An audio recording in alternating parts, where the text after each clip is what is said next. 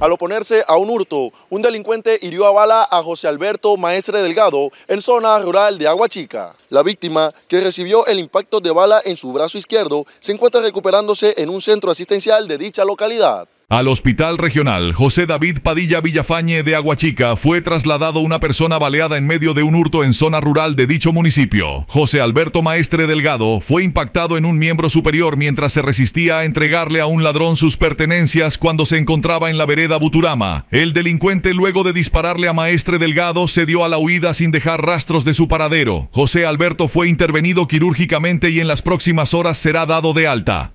El ICBC es una institución que marca la diferencia. Prestamos servicios como cardiología clínica, cardiología intervencionista, programa de cirugía cardiovascular, hemodinamia, electrofisiología e intervencionismo neurocardiovascular, vascular periférico, métodos diagnósticos destacando cardiología no invasiva. Además, contamos con el servicio de unidad de cuidados intensivos y hospitalización, un equipo humano comprometido en el cuidado y monitoreo de nuestros pacientes, brindando un servicio oportuno según la necesidad. Nuestro lema es Por el corazón del valle. Le ponemos el corazón para el bienestar de nuestros pacientes. Somos el Instituto Cardiovascular del Cesar.